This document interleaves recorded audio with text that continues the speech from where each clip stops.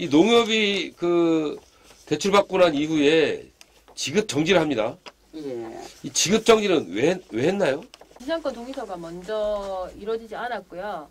지상권 동의서 이루어지지 않은 부분에 대해서 먼, 어, 이감사랑 합의를 해라. 이감사한테 돈을 이모씨. 줘라.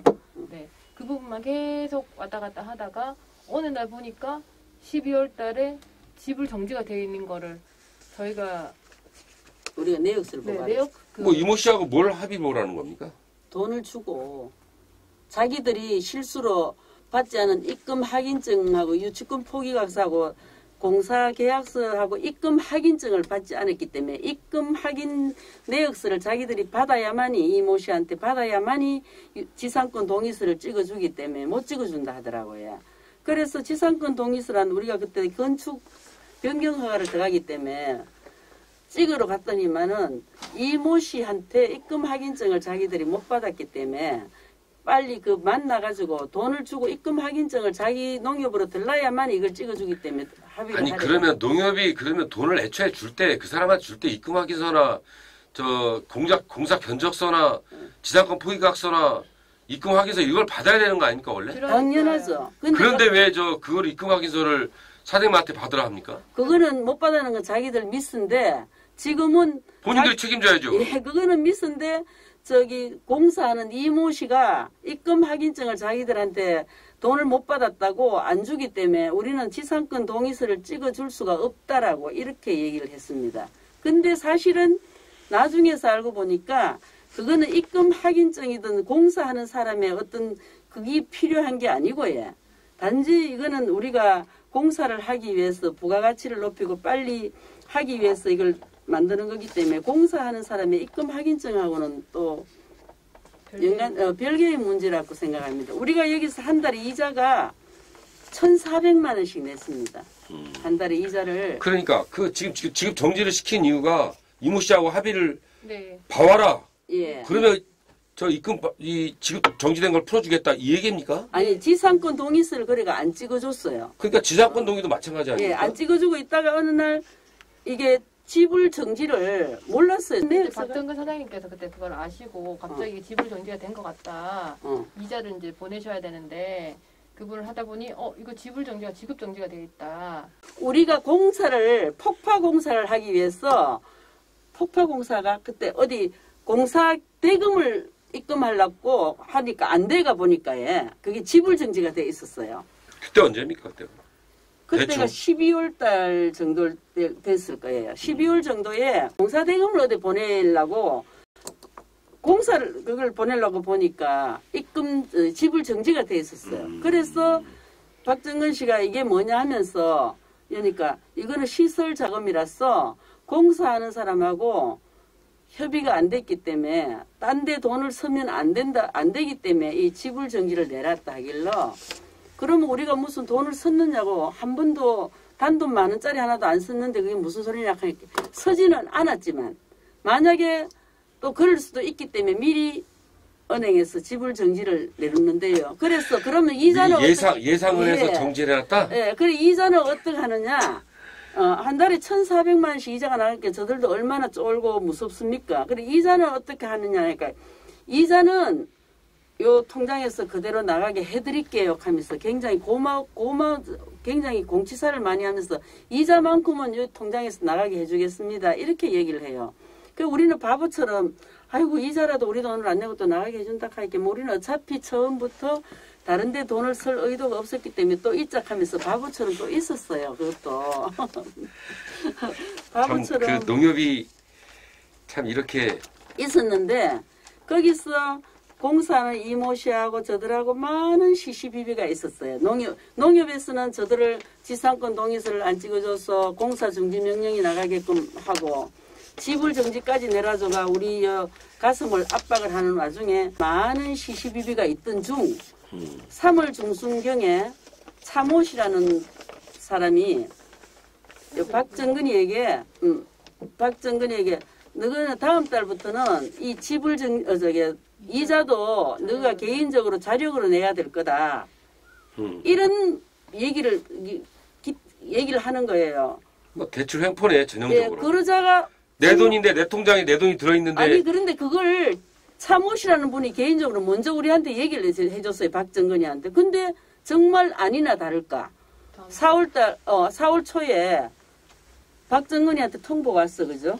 어 와가지고 이달부터는 이자도 개인으로 자력으로 내야 된다고. 걔가 그게 왜 그러냐고 그 저기 뭐고 이자는 괜찮다 했잖아. 바보스럽게 우리가 이렇게 물으, 물으니까 이제 것은 해드렸는데 자기들이 특별하게 배려해서 해줬는데 시설 자금이기 때문에 지금부터는 이자도 안 됩니다. 그러면은 이자를 어떻게 내야 됩니까, 카인? 자력으로 내셔야 되는데 그럼 어디로 내야 합니까, 카인? 농협에 법인 통장이 있으니까 계좌를 그때 아리켜 줄게. 좀 이, 28일 날짜가 우리가 저 대출 나가는 기일인데 조금 일찍이 아리켜 준다 하네 이것도. 아리켜 준다 하니까 박정근 씨나 저나 우리 모든 사람들이 신용 불량이나 이래 뭐 또 은행의 지식이나 뭐 또 신용 불량이나 이런 쪽으로 모르니까 겁이 내잖아요. 아이고 신용 불량이 또 만약 이자를 그 날짜에 못 내가 신용 불량이 되면 어떡할까 싶어서 그러면 나는 신용 불량 되는 게 싫으니까 안 되면 큰일 나니까 이자 보내야 된 법인 통장이나 알려주세요. 하면 우리는 이렇게 바보처럼 그렇게 얘기해가 알겠습니다. 하는 와중에 저들이 고소도 하고 금융감독원 농협중앙에 모든 것에 우리가 아 이거는 아니다 하면서 그러다가 우리가 사방으로. 어, 너무너무 억울해 사방으로 둘러보면서 변호사도 선임하고 모든 사람에게 이제 정보를 이제 얻으려고 사방으로 뛰어다녔어요. 그 와중에 그랬더니만은 이렇게 이렇게 가락하는 모든 주변에 그렇게 사람- 하니까 농협이 그때서야 지상권 동의서에 해준다 그러고 네, 얼마 전에 뭐 저 통장도 어, 지급 정지했던 것도. 풀어준다 하고 예, 예. 예, 그 모든 걸 그래 해준다 하니 자기들이 알아보니까 이렇게까지는 안 해도 된다 하더라. 자기들 회의를 하고 알아보니까 그러니까 지금부터는 어 그런 거는 모든 거는 풀어주겠다. 저한테도 그 상임 이사가 얘기를 하더라고요. 예, 죄송하다 하면서 이렇게 얘기하는데 아 이게 전형적인 농협의 횡포입니다. 횡포. 예. 근데 우리는 너무 너무 쫄아가예. 너무 힘들었어. 너무 힘들어가 정신병원까지 다니고 일상생활을 못해요. 어, 못하고 너무너무 힘들게까지 왔는데 이 마음에 이런 모든 참 고생 많이 하셨고요. 얼마 전에 농협 중앙회로부터 공문이 왔다면서요?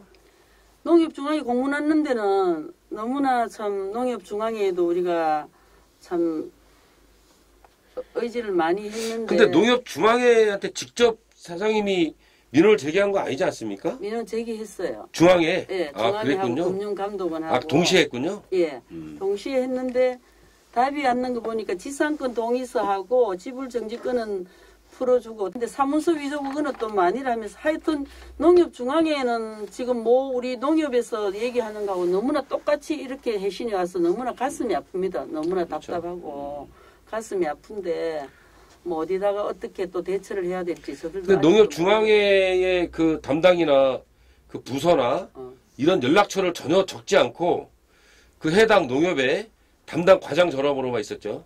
저도 그걸 봤는데, 아 봤습니까? 네, 예, 그 그 마지막 해신이 왔는 데는 보이긴 해. 궁금한 게 있으면은 그 뭐 우리 대출받은 모 농협의 담당 과장한테 얘기할 건데 담당 과장이 우리를 이렇게 다 만들어 놨는데 담당 과장한테 뭘 묻고 해신을 하라 하는지 그게 너무나 아이러니합니다. 그렇죠. 예. 네, 저도 그거 보고 좀 참 농협이 대단하다.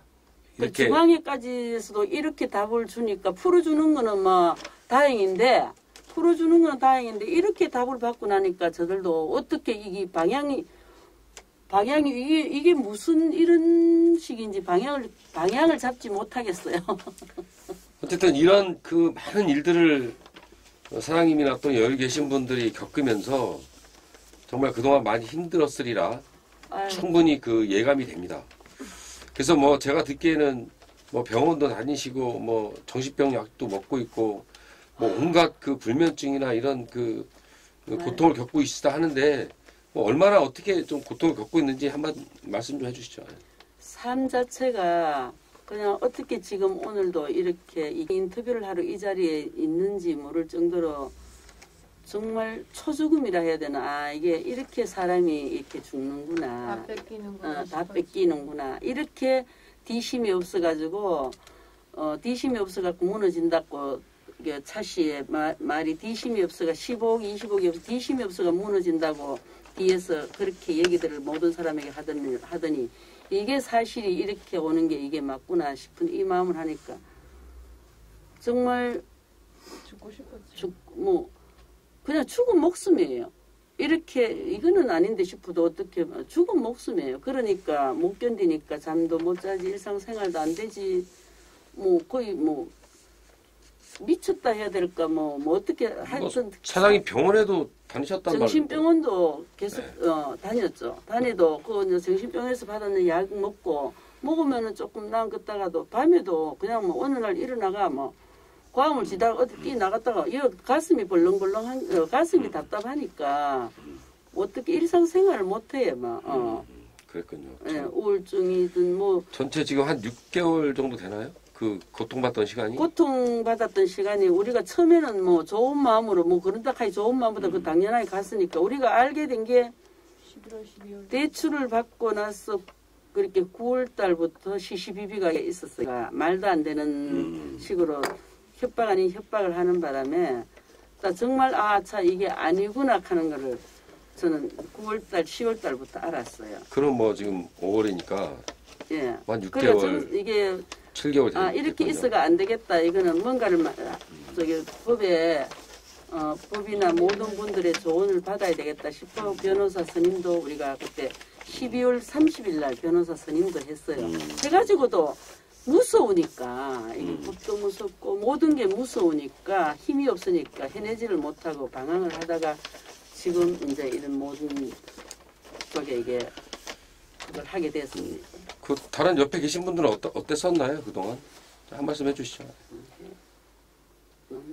우리도 뭐 정신적으로 뭐 가슴도 벌렁벌렁 아무것도 되고 모르면서. 저도 부정맥이 와가지고 지금 음. 약 먹고 있거든요. 음. 뭐 하여튼 이래 소식을 들으면은 음. 진짜 뭐 걱정 많이 했죠. 이게 정말 땅 다 뺏기는가 싶어가 뭐. 옆에 사모님은 어땠어요? 매일매일 밤잠을 설치고 이랬어요. 음, 음. 좋은 소식만 오기를 기다리고 있어요. 그랬구나. 뒤에 있으니까 담보 제공자니까 예. 그러면 앞으로의 계획 있으시면 좀 한 말씀 해주시죠. 빨리 준공이 나서 음, 어, 좀잘 됐으면 좋겠어요. 음. 그게 제 바람입니다. 지금 정신적으로 너무 힘이 드니까 음. 어, 일상생활이 잘 안 되고 있습니다. 그러니까 하루 빨리 원말에 대해서 준공이 나서 잘 됐으면 좋겠어요. 어쨌든 이제 이제 법적으로 이게 이제 경찰 조사나 또 민형사상의 어떤 이런 문제가 이제 제기됐기 때문에 앞으로 법적인 다툼을 어, 해야 될 것이라고 봅니다. 네. 그리고 이게 단순간에 끝나는 것이 아니라 제가 보기에는 적어도 1년 이상은 법정 다툼이 가야 되지 않느냐 어, 이렇게 보고 있고 어, 이제 경찰 조사에서 하면 어느 정도 윤곽이 나올 겁니다. 그래서 거기에 따라서 맞춰서 대처를 하시면 될 것 같다는 얘기고요.